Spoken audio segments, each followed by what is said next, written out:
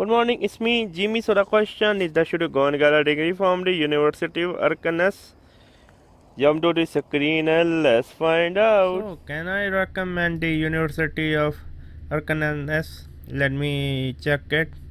It's a public university which is a good thing. Never ever go to a private university because it's just waste of time and no one will recognize your crappy degree even if from a good private university do not waste your time okay the tuition is okay but out of state tuition is quite high for the university of arkansas i'm sorry i can never pronounce it right i'm sorry i have a tongue tie problem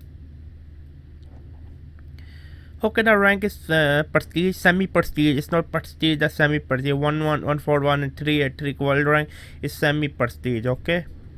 It's a quite i mean i can easily recommend if you definitely need a degree. A lot of people don't need a degree.